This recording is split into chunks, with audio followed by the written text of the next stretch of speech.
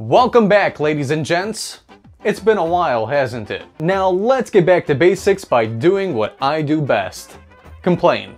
Being in quarantine for months, you get restless, more and more annoyed with people than you ever have before. But nobody, and I mean nobody, makes you roll your eyes more than Balkan people. Here's why. Ever find it annoying when they use speakerphone in public places? Like it's not a walkie-talkie. Plus, it's obnoxious as hell. Who the hell wants to listen to you screaming into your phone? I don't. Koji kajmak hoćeš? Pa, koji brand imaju? Imaju Fage i Daisy. Kako? Daisy. A? Daisy. Nisam razumela. Ma kupit ću ovaj iako ne voliš, jedi znaš šta.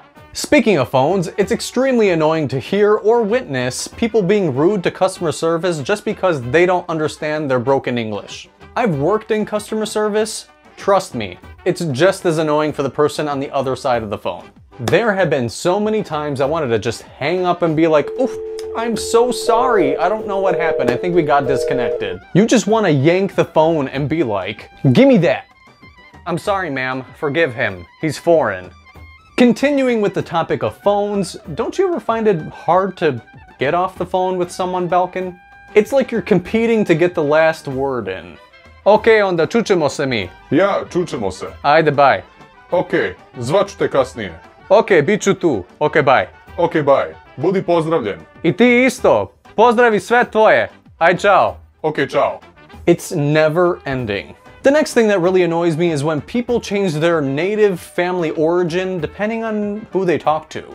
Let me explain. When you meet someone Balkan for the first time, they usually talk about where they're from over there, right? A number of people would say they're from Serbia proper, which is fine, but then they're like, oh, pa, ja sam iz Beograda. If your family is from Zemun, then f say Zemun. Don't give me that Belgrade bullshit.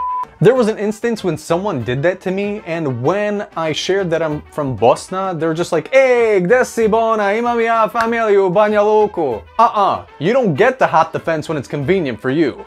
On the same note, it annoys me when girls post on social media how much they miss it out there, how much they want to move out there and live the high life.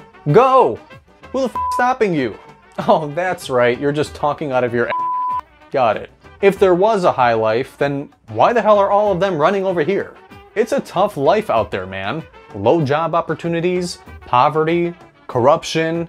Ain't nobody gonna care for your Gucci belt when you're working at the mini market off the side of the road. And speaking of over there, don't you find it annoying when they ask for the year that you were born and not your actual age? I'm sorry, ain't nobody got time to be doing math. I'm just like, oh, okay, cool. But really, I'm like, 2021 minus 1976, carry the one. The next one on my list is something that a lot of people can relate to, especially if you're quarantining with your family. Don't you think it's annoying when your family members report something wild that they've seen on YouTube as fact? Like, Čuj to, kažu ako skuvaš beli luk, vino i med zajedno i popiješ to dva puta na dan, nećeš nikad biti bolestan. Ja, beli luk je dobar za sve. Ajde da probamo. Super it, man. Eh? Come on, man. fucking throw up. Come on, man.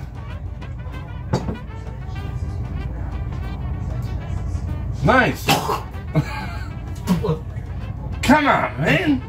Let's just say it did not work. Don't believe everything you hear or see on YouTube or social media or anything like that. I mean, heck, anyone can upload anything to YouTube. Like this clip. Food and drink is a big part of our celebrations. And the biggest part of the celebrations is me looking pregnant after I eat. And even when I'm not hungry, I'll eat, which is a terrible habit. The thing that annoys me about all of that is when the host comes up to you and is like, eat more, you barely touched anything. Excuse me?